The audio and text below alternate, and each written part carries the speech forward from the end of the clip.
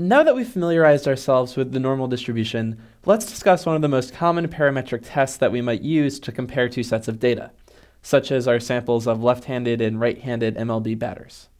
That would be the t-test. The t-test, like many statistical tests, aims at accepting or rejecting a null hypothesis. A null hypothesis is generally a statement that we're trying to disprove by running our test. For example, that two samples came from the same population, this might mean that left-handed and right-handed batters show no real difference in their batting average, or that a certain sample is drawn from a particular probability distribution. For example, if we had a sample of 20 heights and weights of arbitrary baseball players, we might want to test how likely it is that those 20 people are drawn from the known MLB player population.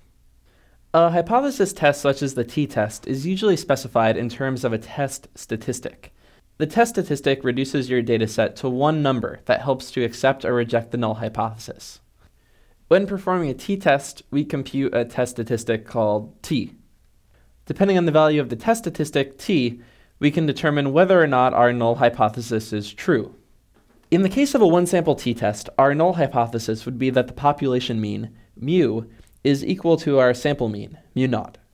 In the two-sample case, which we'll be more concerned about for the purposes of our example, the null hypothesis would be that our two population means mu naught and mu1 are equal.